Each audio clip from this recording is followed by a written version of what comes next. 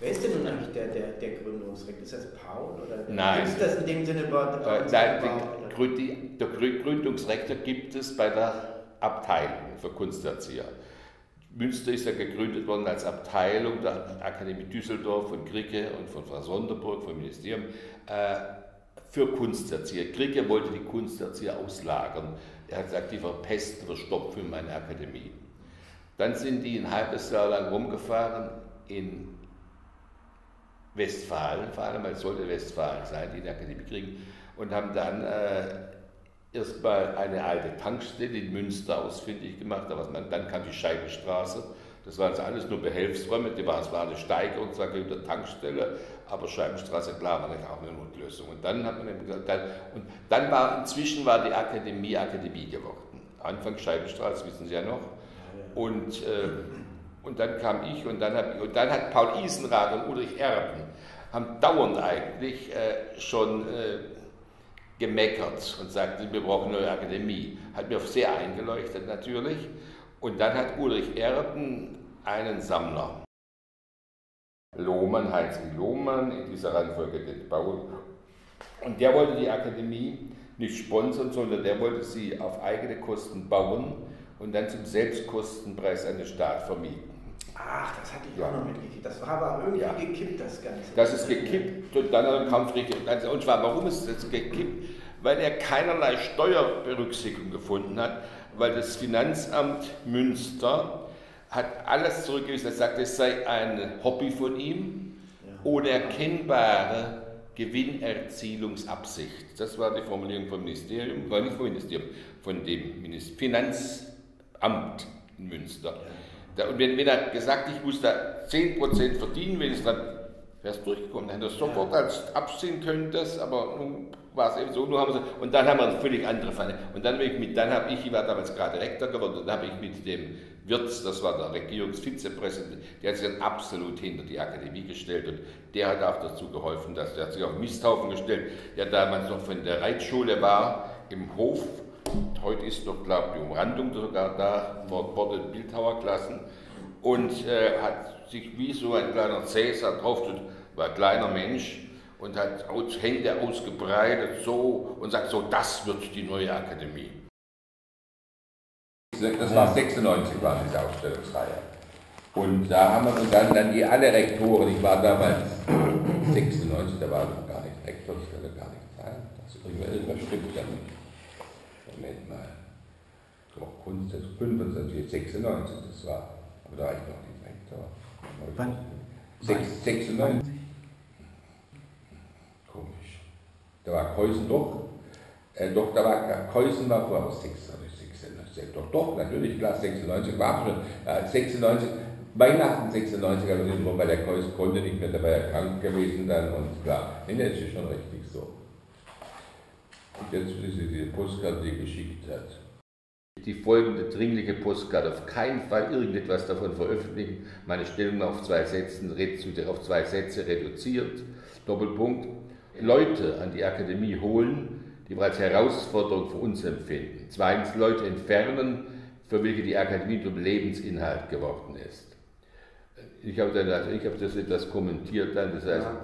es war die ganze Philosophie der Akademie ja. vor Isenrath, der einerseits äh, Institutionen äh, leitete, aber nie ein Büro betreten wollte mhm. und der der perfekte Anti-Institutionalist Anti war, aber gleichzeitig auch in Institution wirklich sehr mitarbeitete, wie kaum ein anderer. Paul war immer sehr, äh, nicht radikal, aber konsequent. Ganz klar, ja. Und zwar immer, er hat einen Kunstbegriff natürlich, der auch, äh, der muss auch sich behaupten, weil er oftmals gar nicht als Kunst bzw. Kunstbegriff akzeptiert worden ist. Dieser extreme Minimalismus von ihm, ja, äh, der ist sehr unsichtbar, oft mal bis zur Unsichtbarkeit. Manchmal so gewaltig, wie er hat seine ganze Körperkraft in die großen Hämmerungen rein. Das sind an sich tolle Arbeit, immer noch, muss ich sagen.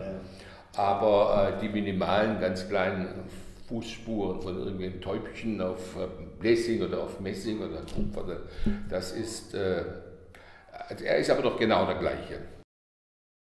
Der Paul, der hat eine Konsequenz, einen Rigorismus, äh, der einfach sagt, doch, das machen, der macht, was er will und fragt dann aber gar nicht mehr danach. Der stellt äh, das, was er gemacht hat, nicht mehr in Frage. Er hat Zweifel, ohne dass seine Zweifel jemals ein Ende haben, natürlich, das ist ganz klar. Aber er glaubt nicht, dass er die beantworten kann, dass man es rationalisieren kann. Und der Witz ist auch, man erwartet, dass Antworten immer rational abkontrollierbar sind. Und das ist ja. garantiert nicht der Fall. Ich war ja immer eigentlich gegen dieses Abfrageprüfungssystem. Also wir haben ja seinerzeit die Bewertung sowieso abgeschickt, also gab es ja nur bestanden und nicht bestanden. Ich hoffe, das ist heute noch so. Äh, denn also, dass, dass man nicht nur bei der eine quatscht endlos und ist eloquent und kann sich da äußern und kann sich immer mit allem retten in irgendwelche Ausreden und so. Und äh, der andere ist ehrlich, denkt sogar viel besser drüber nach und stellt fest, ich habe keine Antwort darauf. Und dann hält er die Klappe.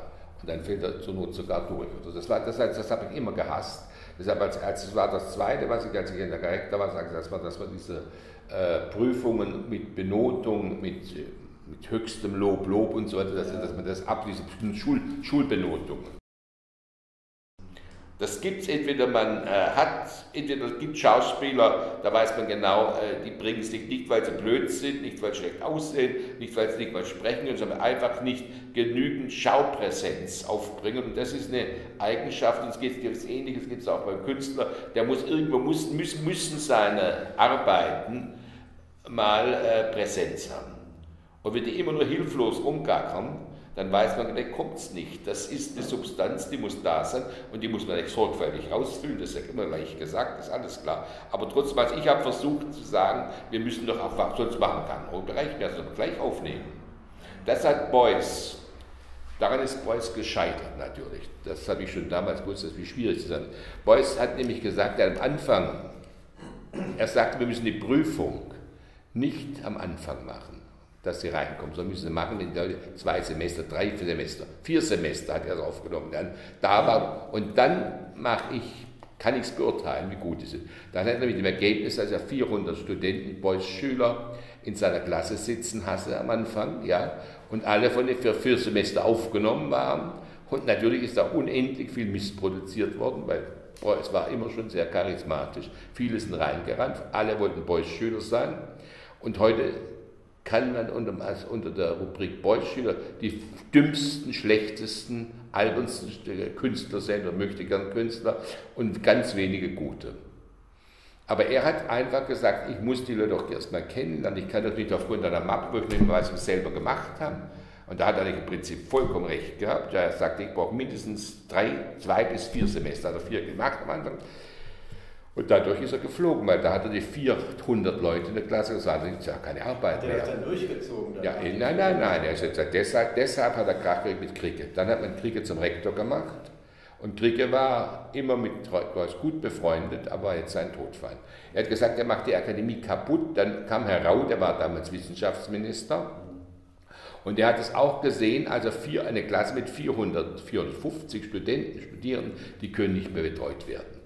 Das, und, und wenn er, dann hätte er mindestens 20 Leute von Orientierungsberg eingestellt, wenn er die aufteilt, kleinere Klassen. Ja. Das heißt, dann wäre es eine andere Akademie gewesen, die wäre nur noch aus Orientierungsbereich bestanden und ein paar Spitzen.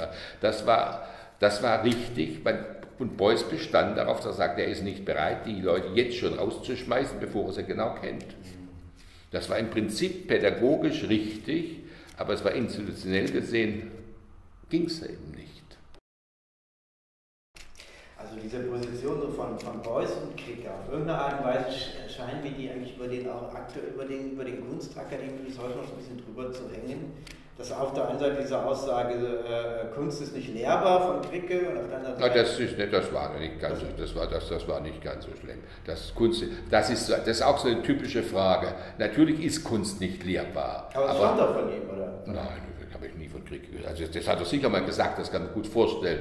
Aber, aber nicht so gemeint. Aber, aber, nee, aber er hat ja sonst, er hat sich, dann hätte er sich selber jeden Tag widerlegt. Er hat ja immer eine große Klasse gehabt in Düsseldorf.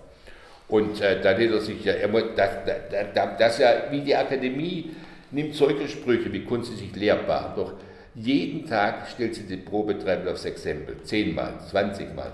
bei 16 Akademien in Deutschland äh, wahrscheinlich mindestens 10.000 Mal, also jeden Tag. Und deshalb ist es alles, das ist alles richtig, aber auf einer Ebene richtig, die mit der Praxis nichts zu tun hat. Lebt nicht, nicht letztendlich die Kunst von, diesem, dieser, von dieser Paradoxie? Von oh, teilweise ja, teil, teil, teil, teilweise ja, teilweise ja, das würde ich auch sagen. Nicht immer. Die Kunst ist ja so etwas Sinnliches, lebt sie nicht nur von Ausschlüssen und Paradoxien. Aber es gibt selbstverständlich zum Beispiel Tim Ulrichs basiert auf, die Tautologien von Tim Ulrichs basieren absolut auf dieser Logik. Das ist richtig, die sophistische Logik. Ist klar, aber trotzdem, die Mode hat wunderschöne Sachen gemacht, muss ich sagen, auf die, auf die Weise. Da kann man Kunst machen. Ja, ich habe manchmal das Gefühl, dass, so, dass die Künstler so, so, intuitiv eigentlich so diese grundlegenden ja, Paradoxien oder Ja, aber nicht alle. Aber es gibt Künstler, die machen das auch selbstverständlich. Aber nicht, es gibt zwei Typen. Es gibt Künstler, die denken nach über Möglichkeiten und die anderen, die äh, sind so vital, die äh, die machen einfach. Völlig wie Picasso war jemand, der hat nie über Möglichkeiten nachgedacht oder, oder Rubens nicht oder so. Also es gibt auch ganz vitale Künstler, die einfach, äh, dass der Schöpfungsprozess, kreative Prozess, der läuft nicht über Kopf, so läuft über Äußerung. Das ist dann bisschen so, dass man Gefangene der eigenen Vorstellungen ist. Das, ja, das, das, ist man so, wie man insgesamt von Raum und Zeit, in der Vorstellbarkeit von Raum und eigenen, des eigenen Vorstellungsvermögens ist was anderes. Nee, äh, das, das, die Vorstellung spielt sich nur ab innerhalb des eigenen Vorstellungsvermögens. Und das eigene Vorstellungsvermögen bedient sich der Kategorien Raum und Zeit, findet nur in diesen Kategorien statt und deshalb, das sind komplementäre Elemente. Und mir ist es alles völlig egal, was es ist. Auf jeden Fall, ich weiß genau, dass äh, das in mein Bewusstsein äh, dem Determinismus überlegen ist irgendwo. Weil ich kann ja auch den Nicht-Determinismus denken. Einmal, wenn ich das Gegenteil denken kann, Logik, das haben die alten Inder doch, die Brahmanen, die haben das perfekt philosophisch umgesetzt, dass alles, was man denken kann, ist kein Widerspruch zum Nichtdenken hebt aber das Nichtdenkbare auf. Die Inder, die waren 2000, 1500 Jahre früher schon, die waren viel abstrakter.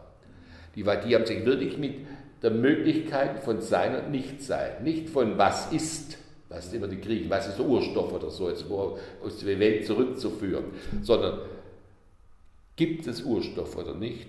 Was für Denkvoraussetzungen müssen gedacht werden, äh, wenn man äh, sagt, wenn man das herausfinden will, als Möglichkeit, das war, das, also das, das war reine Konzeptphilosophie, würde ich sagen, 100% Konzeptphilosophie.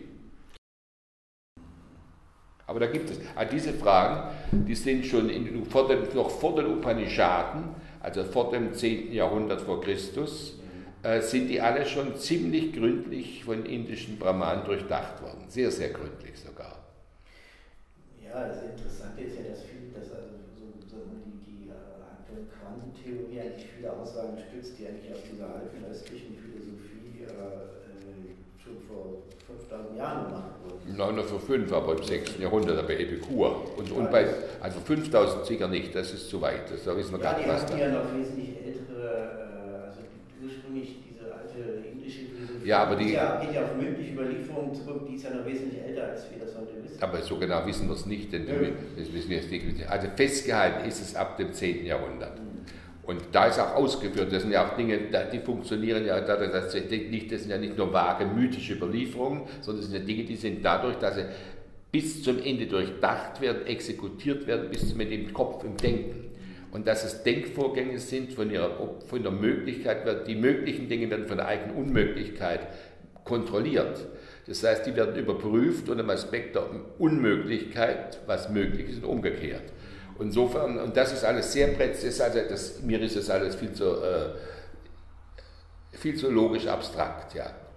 Aber äh, trotzdem, halt, also als ich das mal so gelesen habe, da hat mir, das hat mir Satz imponiert, weil ich dachte einfach, Gottes Willen, was haben die Leute damals für Scheißdreck äh, schon ausgekocht im, im Hirn, ja, womit haben die Leute sich beschäftigt.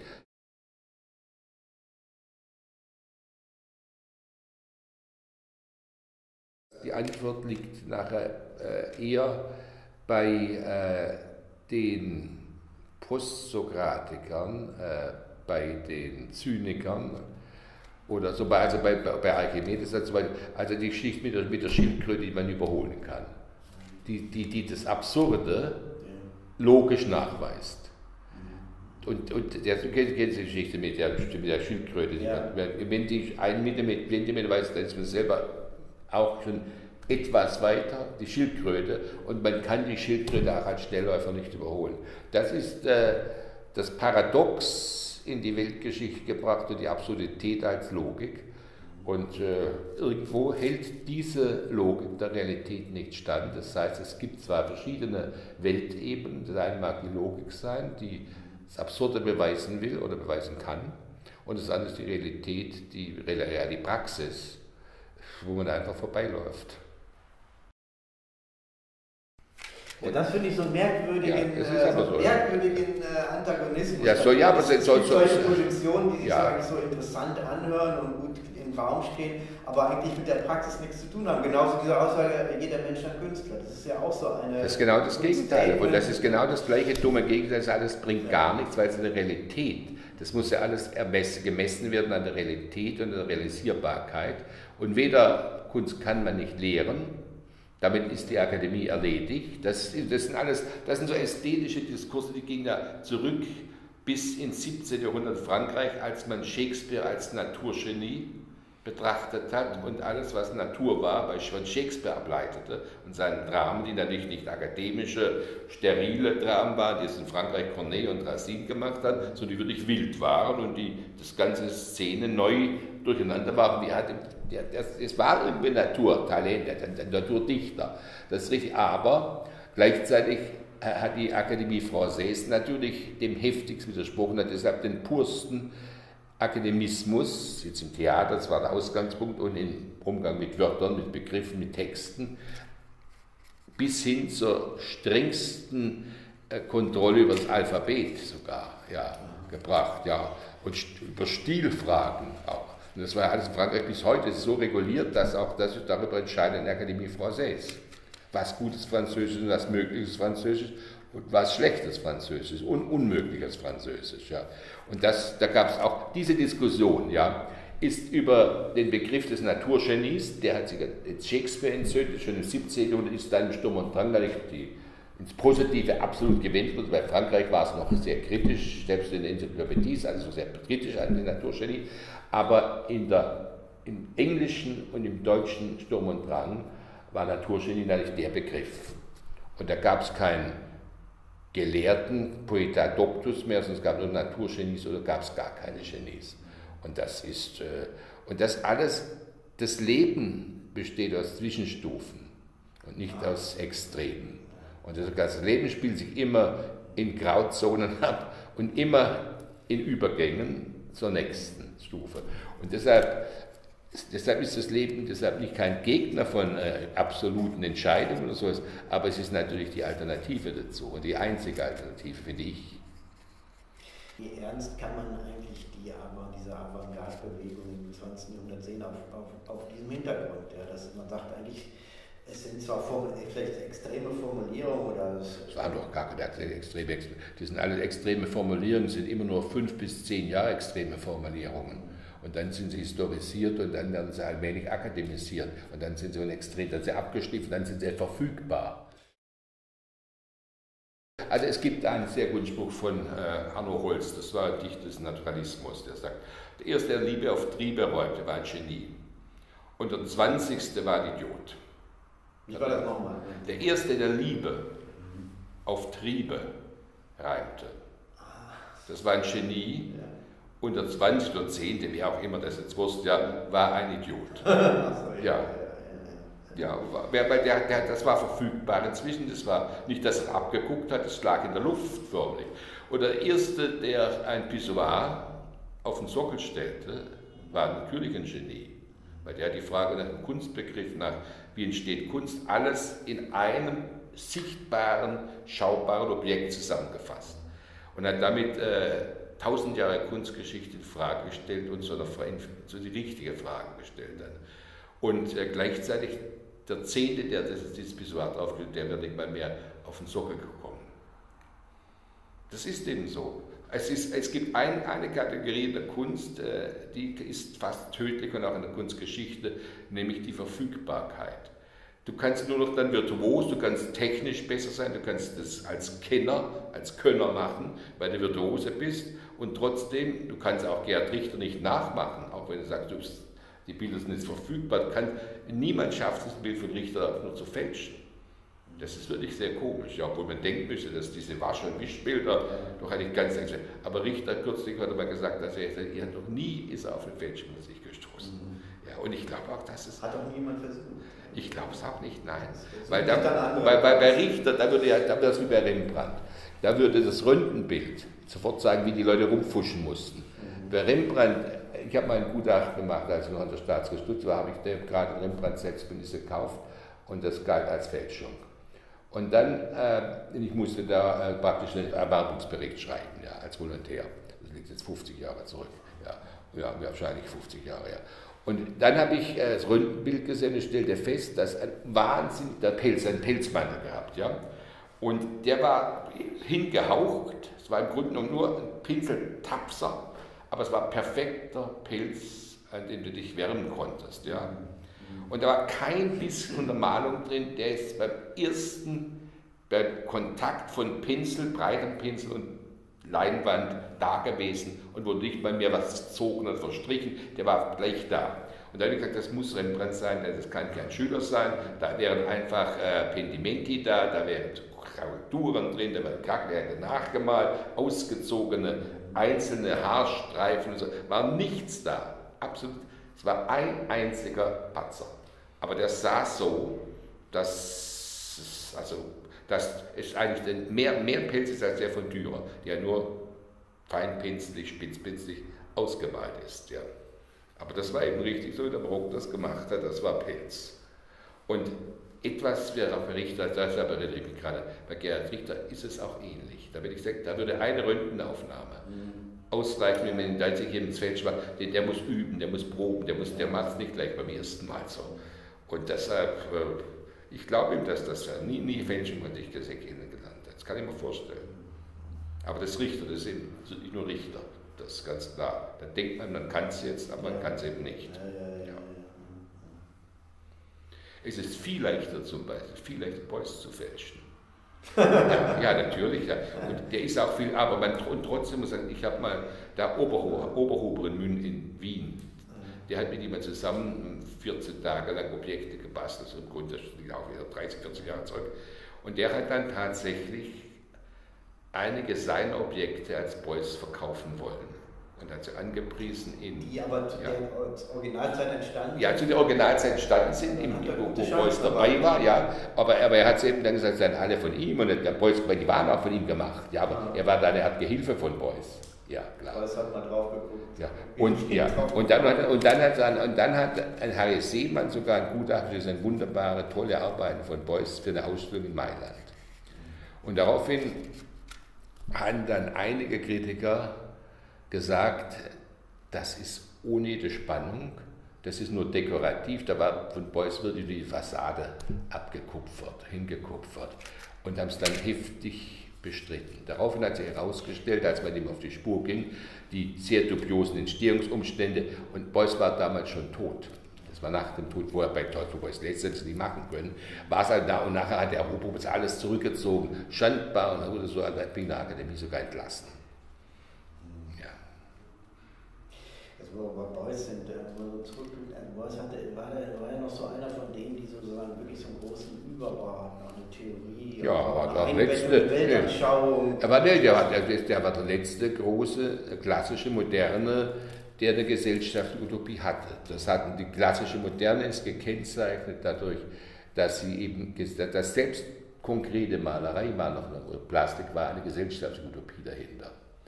Es war äh, hinter Konstruktivismus war immer eine gesellschaftliche Utopie. Äh, in dem Express war ein gesellschaftlicher Lebensentwurf dahinter. Das heißt, es war immer auch etwas, was niemals nur auf der Leinwand oder im Material stattfand, sondern war immer Und zwar Ideologie kann man sagen, es war vielleicht auch Theorie kann man auch sagen, es war nicht richtig, es war ein gesellschaftlicher Lebensentwurf, der utopisch war, so eine große Utopie. Und als das zu Ende war, das hatte die Pop-Art zum Beispiel nicht mehr. Die hatte zwar noch ein bisschen so demokratisches äh, Mädchengetue und so, das mit die Emanzipation der Mädchen, so, aber es war keine wirklich gesellschaftliche, positive, positive Utopie mehr. Und seitdem fehlt diese Utopie. Ja, jetzt, das möchte ich jetzt noch wissen. Ja. Kommt denn die Kunst ohne Utopie der einzelne, einzelne Kunstwerk braucht eine Utopie, das ist dasselbe dann natürlich, aber nicht die Kunst selber braucht keine Utopie. Die Kunst selber, äh, die, die Utopien sind auch nicht so, die liegen auf der Straße rum. Die passieren, wenn die Impulse hinter wenn die gesellschaftlichen Impulse sehr stark sind, dass sie sich durchschlagen bis auf die Kunst. Und dass die Kunst auf die Gesellschaft durchschlägt. Äh, wobei die, das, auch das war nie der Fall, natürlich. Aber wenn man überlegt, was in Russland passiert, das wäre die Revolution, das war eine große gesellschaftliche Utopie, die sich aber auch ihre künstlerischen Mittel geschaffen hat. Aber das passiert nicht jeden Tag. Ja, wir haben ja heute auch so, so, eine, so, teilweise auch so eine Kunst, die sich so in so gesellschaftliche Kontexte einfügt, die sich dann ja, öko ökologisch, ökonomisch äh, engagiert, also wo sozusagen, sozusagen ja, ja gut, ja, was man vielleicht ja, so ein bisschen bla bla. Ja, nee, aber da, da, aber da, da, da, da sind, wenn, also wenn, wenn es zu sehr ideologisch fixiert ist, dann ist es meistens keine gute Kunst, muss ich sagen. Also das, das seit der Gegenreformation gibt es keine ideologisierte Kunst mehr, die wirklich gute Kunst ist. Rubens war vielleicht der Letzte, der ein großer Ideologe war als Maler, weil er gegenreformatorisch verseucht war. Aber, äh, aber es war eine große, da hat, die, da hat die Ideologie noch Kunst hervorbringen können. Aber ich wüsste seitdem mindestens. Also das halten Sie schon für möglich, dass eine Ideologie ja. nicht unbedingt der Kunst im Wege steht, sondern dass sogar Kunst Nein, Na, weil, weil die, die, Kunstgeschichte zeigt das ja. Das ganze Mittelalter, die hat die christliche, die hat die, hat gemalt Kirchenwände, die hat Altäre gemalt. Jeder Altar ist natürlich religiös oder ideologisch, ist für mich identisch. Da kann ich keinen Unterschied sehen. Und das ist, und das gab es natürlich, und dann bei Gegenreformation war dann, Protestantismus hat keine bedeutende Kunst produziert, weil die, da fehlte die Stoßkraft. Die gab die Gegenreformation, die hat natürlich aus der Vergangenheit, hat die nochmal sich äh, ihre ganzen heiligen Märtyrien hervorgeholt und die hat sehr wichtig, und Rubens ist ein absoluter großer Künstler kann man, kann man in den Worten zusammen das Wort Ideologie irgendwo anders besetzen? Vielleicht? Man könnte, ja. Weil, äh, ich nee. meine, heute, wir haben heute ein Verständnis von, also von Ideologie, man sagt, also Kunst und Ideologie, also Ideologie und Kunst, das, das ja, Ideologie warum, ja, weil wir sind, weil, ja klar, weil wir natürlich alle Ideologie inzwischen mit Sozialismus identifizieren oder mit Religion identifizieren. Das heißt, weil wir, das liegt an uns, weil wir die Ideologien ja nicht mehr als Wertsysteme, als wirkliche existierende Wertsysteme akzeptieren. Und ich würde sagen, in der DDR, die Leute, die da noch einigermaßen interessante Kunst brachten, auch in Russland heute wieder, die sind eben die, die die Ideologie so gebrochen haben. Sie Heißig zum Beispiel, die also eben keine Ideologen, der ist aus der Partei ausgetreten und so. Und die waren eben doch keine Ideologen, obwohl sie natürlich im ideologisch bestimmten Staat malten. Aber die haben sich, das gibt es auch, dass man sich da arrangiert damit und dass man irgendwie Schleichwege findet, wie man einerseits das tut, was erwartet wird, andererseits aber auch total unterläuft. Das ist natürlich, das ist das, was Edward Bokor gesagt hat, das ist der DDR passiert. Die, die, die hatte die Chance gehabt, dass er diese Staatsideologie restlos unterlaufen hat, ohne sie zu stürzen. Das kann man negativ finden, kann sagen, was soll Kunst, wenn sie nicht stürzt, das bringt sie, aber die Kunst muss nicht stürzen. Aber die Kunst muss im Zweifelsfall auch unterlaufen können, muss Gegenposition, die muss in der Position die Gegenposition sichtbar machen können. Und das ging, das geht schon. Also so, so einfach ist es auch nicht mehr mit der Ideologie. Heute ist Ideologie politisch am Ende. Aber der Kapitalismus ist genauso eine Ideologie natürlich. Das Kapitalismus so, ja. genauso. Und, äh, da, ja. und die Propart war eine rein kapitalistische Kunst. Das muss man auch sagen. Es war Warenkunst. Also auch Konsum ist eine Ideologie. Welches, welches Bedürfnis? Also die Ideologien sind nicht immer nur hohl, sondern die sind sogar sehr, sehr äh, substanziell. Irgendwo taucht immer mal wieder der Gedanke aus, dass eigentlich dieses, dieses Konzept, sag ich jetzt mal, der, der, der modernen oder zeitgenössischen Kunst, auch des freien Künstlers, auch ein Konzept des, äh, des, des, des Kapitalismus ist. Inwieweit gehört das zusammen oder ist das. Das gehört sicher nicht zusammen. Das ist, sonst, sonst wäre, hätte die Kunst versagt. Wenn es das ein Konzept des Kapitalismus wäre, also neoliberales Konzept wäre, äh, dann wäre es ein Konzept, dann wäre der Agon, also Wettbewerb, in Rivalität und in Krieg aller gegen alle und Ellenbogen umgeschlagen. Und das muss die Kunst, das muss die Kunst nicht. Da gibt es ein paar Arschlöcher, die tun es natürlich, die glauben daran fest, das sind dann Leute Lüberts, die sagen, ich bin der Allergrößte, alle anderen weg oder so einen dummen Scheiß. Aber das glaube ich nicht. Also der Kapitalismus ist äh, kein neutrales System. Äh, er ist auch ein sehr gefährliches System, ganz offensichtlich, wie man jetzt wieder gesehen hat. Aber Kapitalismus kann auch, siehe freie Marktwirtschaft, natürlich auch ein vollkommen gängiges und auch äh, vertretbares System sein, wenn er funktioniert. Aber dieser Turbokapitalismus, der Neoliberalismus, der amerikanischer oder englischer, äh, angelsächsischer Herkunft, der kann, äh, aber der kann auch chinesisch sein. Heute haben die, äh, die Chinesen haben den Staatskapitalismus zum Beispiel. Und das ist ja auch genauso schwierig, weil der halt wieder Absolutist oder hat wieder totalitäre Elemente drin. Die Amerikaner haben eine, totalitäre Sozialgesellschaft. Das heißt, die zwar niemand wird, wird ist Rechts, Rechtsstaat, wie viele bei uns, aber trotzdem innerhalb dieses Rechtsstaat ist eine Polarisierung innerhalb der Gesellschaft von arm zu reich, die ist so zum Kotzen, dass jeder, der mir sagt, dass in, Amerika jemand, der 1000 Dollar verdient, auch frei wäre, der legt der redet dem dummes Zeug. Das Amerika macht es ganz anders. Amerika hat, hat einen Totalitarismus durch, äh, ob man Geld verdient oder nicht. Und Deutschland ist es inzwischen fast. Äh, auch ist, so nicht, ist noch nicht ganz geschlossene Gesellschaft in Amerika, aber es ist auf dem Weg dazu. Wie weit ist, das, ist das System Kunst eigentlich ein durchlässiges System? Wie, wie, ähm, wie, viel, wie, viel, Selbsterneuerungskraft ist da drin und wie viel äh, Selbsterhaltung ja, einfach? Ich, nee, ich glaube, Selbsterneuerung weiß ich gar nicht drin, aber es ist zweifellos, zweifellos ein durchlässiges System, also kein geschlossenes System, denn sonst, äh, es, sonst wird sich jeden Tag passieren, sonst könnte es nicht erfolgreiche Künstler, mehr oder weniger erfolgreiche, sehr erfolgreiche, weniger erfolgreiche und äh, dazwischen jede Menge Zwischenstufen geben. Das ist, glaube ich, schon so. Und äh, ich kenne ja doch relativ viele erfolgreiche, auch die sind sehr unterschiedlich erfolgreich.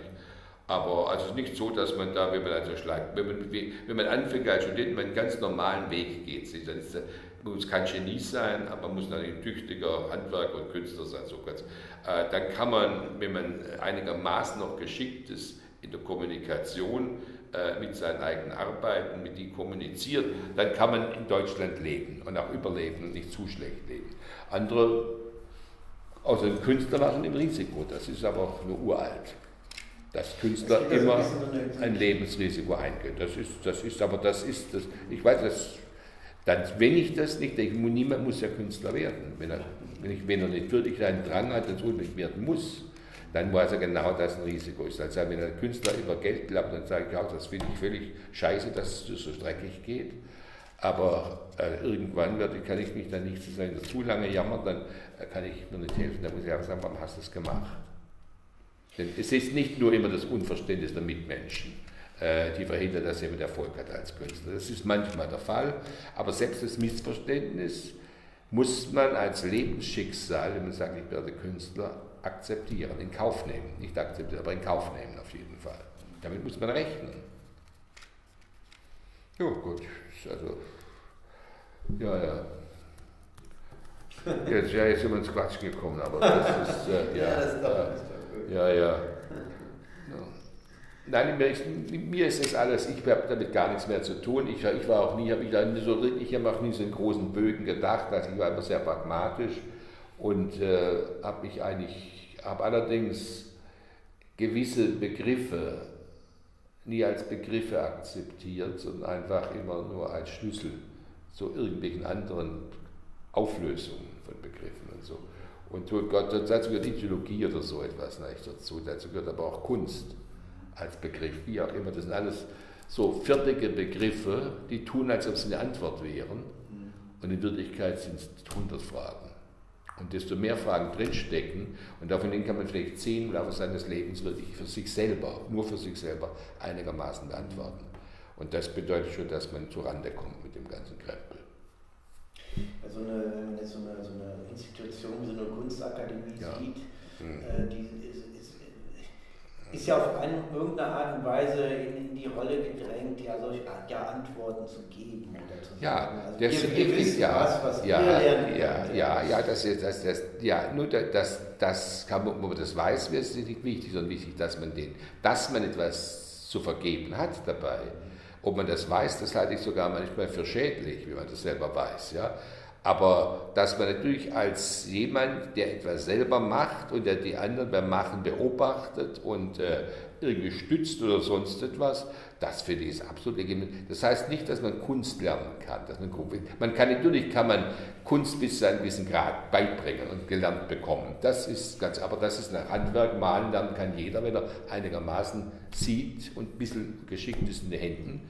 Aber das heißt ja nicht, dass er nachher ein großer Künstler wird oder ein großer Maler wird. Das ist wahrscheinlich, bedeutende Künstler kann man nicht lernen, aber die kann man stützen und die kann man äh, vielleicht auch fördern, aber nicht mehr.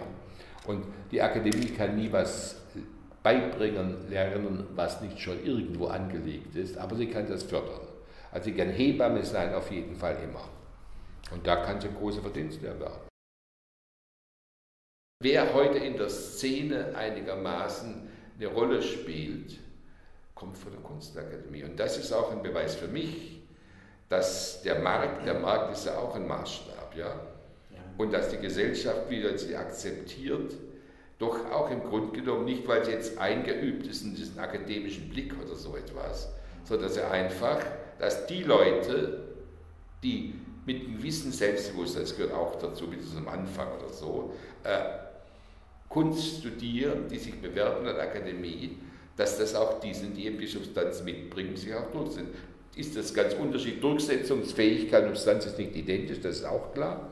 Aber trotzdem, dass Leute, die vom ersten Semester, ich halt wollte jemanden zum dritten, zum ersten, zweiten, dritten Semester kennenlernen, man sieht es schon, ob die ernsthaft arbeiten, damit fängt es an, das werden sie ja genauso, das wissen sie ja genauso, ob die ernsthaft arbeiten, ob irgendwann eine Substanz sichtbar wird, ob sie mal gelegentlich auch eine ganz eigene Idee oder eigene Entscheidung treffen können, die dann produktiv ist und die weiterführt. Und das merkt man ganz schnell. Und die ganzen anderen, die da quatschen und äh, die, also die, diesen, die ein falsches Bild vom Künstler zum Beispiel mitbringen, äh, das tut mir leid. Das ist einfach, also deshalb ist Markus Lüpertz für mich auch heute noch ein ganz schlechter Maler. Da bin ich absolut sicher, weil äh, der kann einfach, der, der war Ende der 60er mal nicht so schlecht, aber der ist jetzt durch sich selber so ruiniert worden, dass ich mir leid, tut mir leid, ich kann nichts mehr sehen darin. Naja, aber Sie wollten jetzt, äh, Sie wollten einen Film machen, sagte mir der Paul, glaube ich, äh, ja, ja, über ja, Akademie, ja? Ja, ja, na ja, also ich, ich, das ist für mich ein offenes Projekt, ja. Also ja. Ich, ich habe ich hab das hier, ich, mitlaufen oh, lassen. Ach, ja, mit, ach Gott, oh Gott. Oh Gott. Weißt du, was ist das für ein Apparat da? Das ist ein ist eine, ja. Aha. Und ja, wie kann, kann man da reingucken? Ja, das ist aber ein Zucker. ich kann jetzt nichts sehen. Ne? Ja, ja, ja, ja, ja, ja, ist mir klar. Danke Bruns, die war mal sehr überrascht, als wir zwei Millionen weniger brauchten, als veranschlagt war. Ja? Und dann haben sie erst mal die zwei Millionen auf das Anschaffungsbudget geschlagen. Dafür haben wir die Computer gekauft. Das war die Grundausstattung, war sonst sehr schwierig, sonst war das sehr klein, die Grundausstattung offiziell. Und dann hat sie gesagt, so, und jetzt haben wir offensichtlich noch 2000, 2 Millionen in Reserve gehabt, weil wir dachten, es wird teurer. Ja. ja und dann hat sie uns, und, ja, und, ja, und, ja weil, weil wir das so genau, weil wir, weil wir fünf Jahre lang Zeit hatten zu planen. Weil jede Steckdose war genau in der Stelle zum einen mal, ersten Mal reingebracht, wo sie nachher sein sollte. Da haben wir ja auch den guten jungen Architekten, der hat das sehr genau geplant, ja. Und weil das alles so präzise geplant war, auch mit dem Architekten von der Fachhochschule, dann mit Domenik und also, dass wir einfach äh, keinen einzigen Fehler gemacht haben beim Bauen. Da musste nichts korrigiert werden. Und sind immer die Überkosten kommen immer durch Änderungen und Korrekturen. Bis auf die Berechnung der Heizung, wenn Sie heute Zeit, der Heizungsanlage die, die funktioniert immer noch nicht wahrscheinlich. Ja. Und das ist eine Aufklärungsbehauptung, das ist der Rationalismus. Das sind die französischen Enzyklopädisten, wo man sagt, die Welt ist ein Uhrwerk. Und die ist eben einmal angestellt worden und läuft jetzt von selber durch, weil sie so kunstvoll und so intelligent und perfekt eingerichtet ist. Das ist die Basis. Das hat schon äh, Newton, ja. war das schon die Behauptung von ihm, der immer glaubte, und dadurch wäre er fast, äh, wenn, wenn er 200 Jahre früher gelebt hätte, wäre er wahrscheinlich verbrannt worden wegen dieser Behauptung. Klar, weil es ist natürlich ein reiner Deismus. Das heißt, es ist einmal angestellt und dann sich selber überlassen. Und es funktioniert und funktioniert und läuft und läuft und läuft immer weiter, ohne dass ein Eingriff kommt.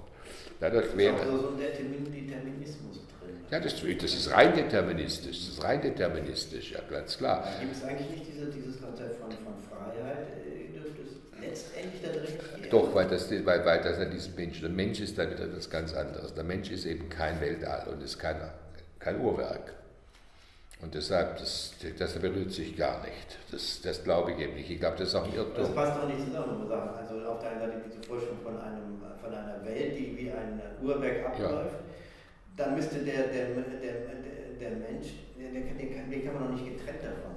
Doch, der, der Mensch. das Uhrwerk jetzt? Oder? Ja, der, der, der, das Produkt, das, die ganze, das ist das, was Darwin dazugebracht hat, dass, das, dass der Mensch ein Produkt der Evolution ist. Und natürlich ist die Evolution in sich ob die Intelligenz ist, das weiß man gar nicht. Das gibt ja, da können tausend andere Wege gegangen sein. Aber der Mensch selber ist da völlig unabhängig, der entwickelt sich aus dem Einzeller. Und das braucht gerade mal äh, 20 Millionen Jahre oder so, 60 Millionen Jahre. Nein, nee, braucht 200 Millionen Jahre jetzt schon, ja, inzwischen. Ja, aber das ist doch klar, das ist also mit einem Wort, das ist gar kein, das hat nichts damit zu tun. Das menschliche Hirn ist eine Sonderleistung. Und die hat nichts mit dem Mechanischen, höchstens der, das neurologische Hirn. Das würde dann rein, also das Hirn von Neurologen, das würde dieses Weltbild passen, aber da dieses Weltbild inzwischen auch überholt ist und zwar gar nicht widerlegt, sondern überholt einfach, ja. ja. Und das, ich vermute mal, dass auch dieses neurologische Weltbild so ähnlich wie dieses deistische äh, irgendwann mal zwar nicht widerlegt ist und widerlegbar ist, aber überholt ist einfach weil sich das menschliche Bewusstsein äh, wieder einlistet in der, im Widerspruch zu sich selber eigentlich und sich dann einfach durchsetzt. Und das Bewusstsein ist doch wichtiger als das Sein, wie auch immer. Was hat er mit dem Widerspruch? Das, das, das ein, wenn, wenn der Mensch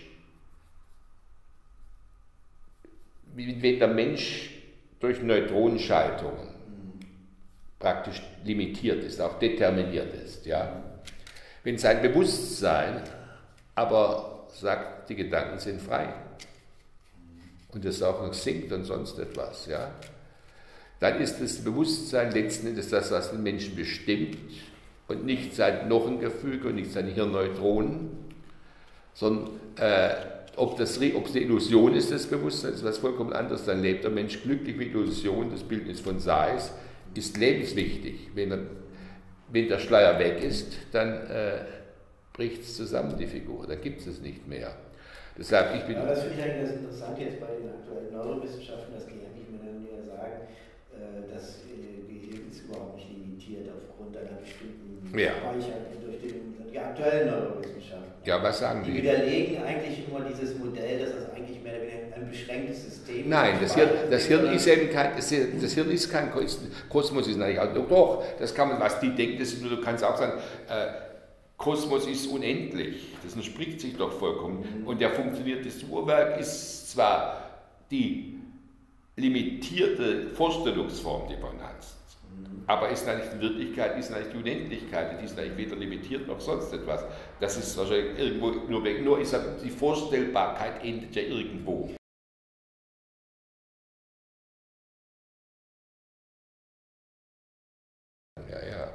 Das finde ich als ja, da kann man, da kann man, und das, die haben sich gar nicht auf mich gerichtet jetzt, oder war das auf mich gerichtet? Ja, natürlich. Wie weit streut der? Das ist ein sehr starkes Weitwinkel. Ja. Also da bin ja, ich auf Nummer ja, sicher, dass ja, das ist irgendwas ist immer drauf. Ja, also genau, ich habe immer gedacht, sind, sind, die, sind die Mandarinen noch mit drauf oder nicht, das weiß ich jetzt. Ja, ja, ja, nicht. Ah, na, die, sind, die Äpfel sind größer, aber Gut, da ja, jetzt habe ich das. das ich, ich, irgendwas brauche ich auch mal, wo ich einfach anstellen muss und dann weiß ich was raus, weiß ich nachher nicht. Und dann kann man es angucken. Dann kann ich es also mein DVD-Player über Bild, Fernsehbildschirm, ja, also, kann ich es dann äh, zeigen, kann ich Wenn ich jetzt den Computer hätte, dann könnte ich die Speicherkarte direkt da reinstecken. Den Computer habe ich hinten zwar, aber der ist meistens nicht, der ist nicht abgestellt. Das, das, das Thema, das haben, Sie, das haben Sie bis heute noch erspart. Bitte? Äh, das Thema Computer, E-Mail, was weiß ich, das. Äh, da verstehe ich überhaupt nichts. Ich sag mal, die glücklichen Menschen. Halt. Ja, ich, ja, ich verstehe das gut. Also ich muss, ich sehe zwar, dass ich, ich habe nur etwas, also ich kann jetzt äh, auf meinem Laptop einigermaßen tippen, obwohl die viel zu klein sind. Ich hasse Laptops, weil ich streife da unten Nach in der Nachbartaste und schon ah, ist es ein Fehler, den muss korrigieren. Deshalb mag ich es nicht, aber ich habe es doch gelegentlich akzeptiert, dass ich auch wählen muss, sonst lasse ich es auch tippen von der Sekretärin. Aber äh, gelegentlich mache ich es auch selber und dann kann ich es auch mailen. Mehr kann ich nicht. Aber Internet zugänglich ist mir auch schon, das hat meine Tochter beigebracht, aber sonst ist bei mir absolut null. Also ich missbrauche die ganze äh, digitale Welt auf der alleroberflächlichsten Schicht und mehr nicht.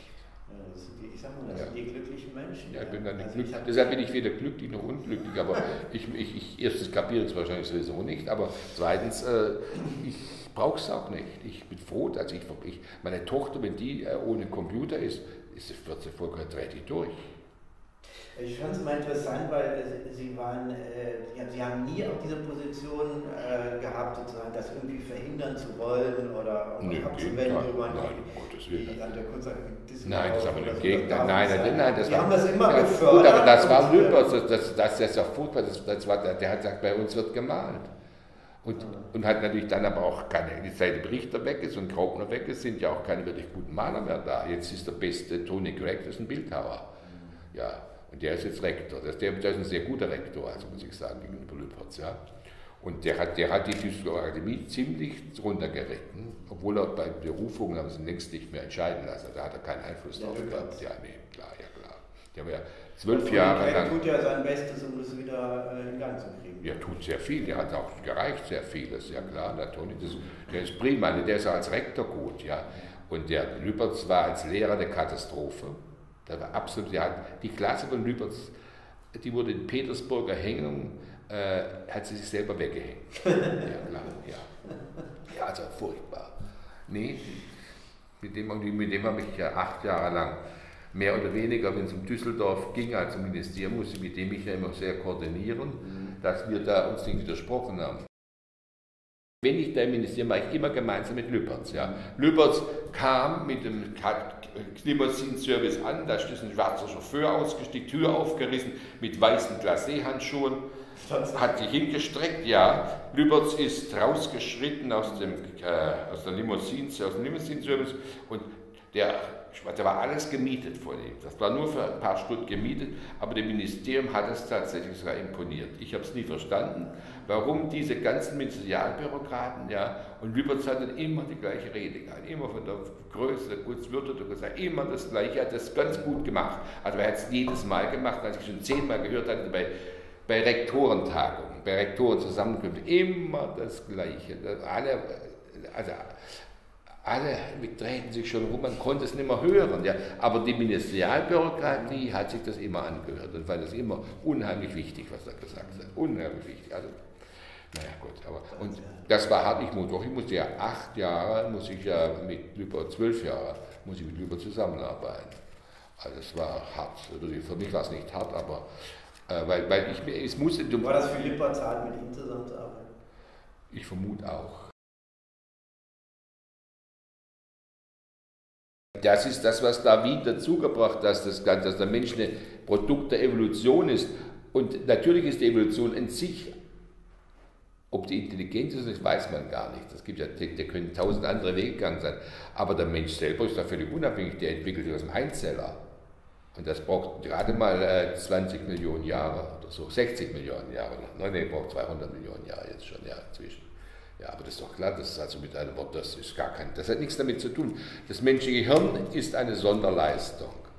Und die hat nichts mit dem Mechanischen, höchstens der, das neurologische Hirn, das würde dann rein. Also das Hirn von Neurologen, das würde dieses Weltbild passen, aber da dieses Weltbild inzwischen auch überholt ist und zwar gar nicht widerlegt, sondern überholt einfach, ja.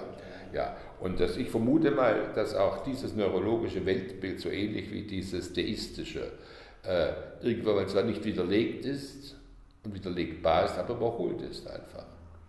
Weil sich das menschliche Bewusstsein äh, wieder einnistet in der, im Widerspruch zu sich selber eigentlich. und sich dann einfach durchsetzt. Und das Bewusstsein ist doch wichtiger als das Sein, wie auch immer. Wenn, wenn der Mensch wenn der Mensch durch Neutronenschaltungen praktisch limitiert ist, auch determiniert ist. Ja? Wenn sein Bewusstsein aber sagt, die Gedanken sind frei und es auch noch sinkt und sonst etwas, ja, dann ist das Bewusstsein letzten Endes das, was den Menschen bestimmt und nicht sein Knochengefüge und nicht seine Hirnneutronen, sondern äh, ob, das, ob es eine Illusion ist, das Bewusstsein ist was vollkommen anderes. Dann lebt der Mensch glücklich mit Illusion, das Bildnis von Sais ist lebenswichtig. Wenn, er, wenn der Schleier weg ist, dann äh, bricht es zusammen, die Figur, dann gibt es es nicht mehr. Ja. Naja, also ich, ach Gott, nee. ja, aber mit Ihnen kann man auch ne, ne, ja, ja, ja, mir, mir schwindelt manchmal, wie gesagt, weil äh, ich, äh, ich beschäftige mich mit solchen Sachen normalerweise eigentlich nur mit der Lektüre. Ich lese gelegentlich irgendwas sowas. Also ich habe kürzlich hab so etwas gelesen, das hat mir der Gott Schumacher, der Künstler, geschenkt.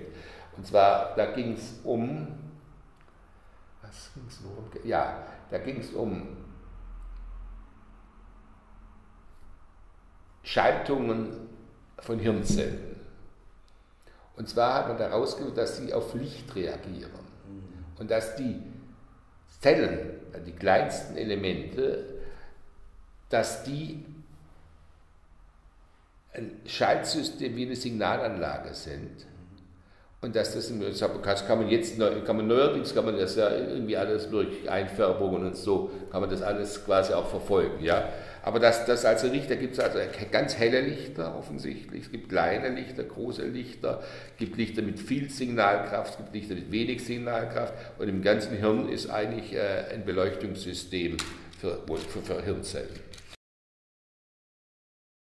Polarit, Polaritkarten. So, ah. Polaritkarten waren das. waren so die allerersten. Das waren die allerersten. Speicher das, ja, die allerersten Speicherträger. Ja, klar. Und aus denen ist offensichtlich das Denken in Computer in Schritten ist aus denen herausgewachsen, ja.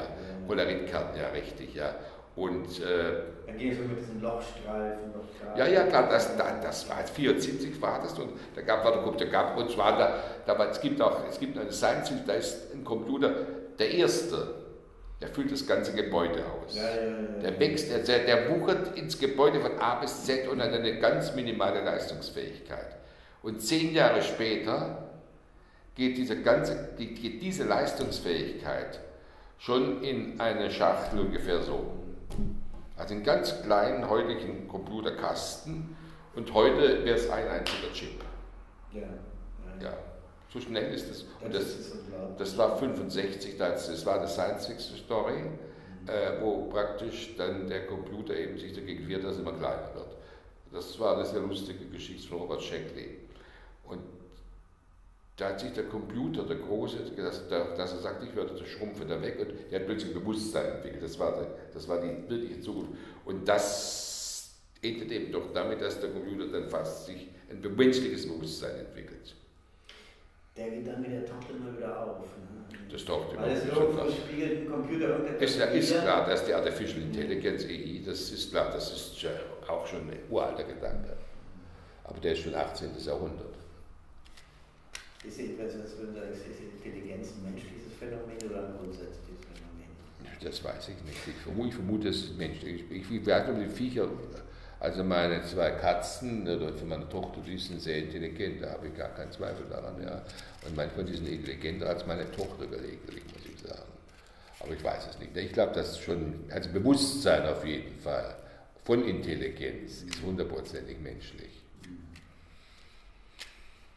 Ja.